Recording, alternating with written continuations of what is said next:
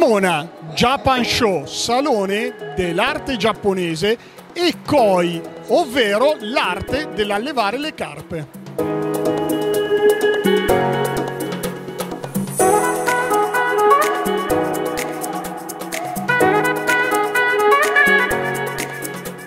Siamo in compagnia di Massimo De Bellis, lui è il direttore qua di Cremona Fiere. Massimo, intanto siamo dietro di noi c'è un bellissimo kimono.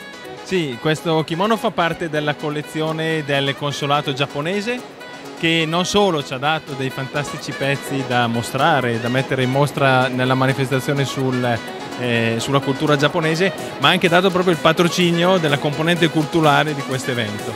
Ecco, da dove nasce la passione per eh, gli abitanti di, di Cremona per il Giappone? Ma a dire la verità l'origine è un po' singolare.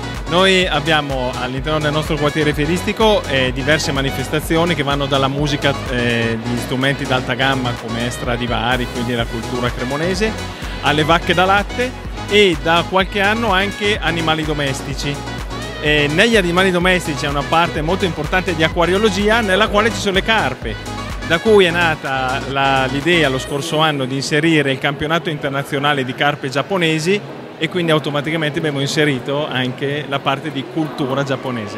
Esattamente, abbiamo visto delle carpe bellissime, ci saranno delle premiazioni, no? Immagino, perché... Eh, sì, sì, il concorso eh, vede 37 vasche con 160 esemplari provenienti da Italia e Europa con eh, eh, giudici che arrivano anche in questo caso dall'Europa e poi fanno la loro valutazione degli animali in mostra. Diciamo che qui vediamo la cultura giapponese in tutti i suoi aspetti. Siamo con un istruttore, lui si chiama Sandro, non ci insegna l'arte del, del, del jiu-jitsu, no, esatto, no, diciamo... ma bensì un'altra arte, quella del bonsai. Sì, insegno l'arte del bonsai.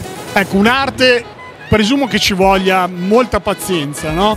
Per avere un, un'opera d'arte di fatto come questa. Allora sì, la pazienza è poi si vede poi nel risultato finale. In realtà il bonsai è il vivere quotidiano la pianta. Non è una pianta che nasce bonsai, è una pianta normale che normalmente viene destinata a altri usi, viene lavorata tramite potature e il tempo a quest'arte che è il bonsai, che è la raffigurazione di una pianta in miniatura con Elena oggi ci parla di qualcosa di particolare perché sembrerebbero delle pitture, dei dipinti, ma in realtà...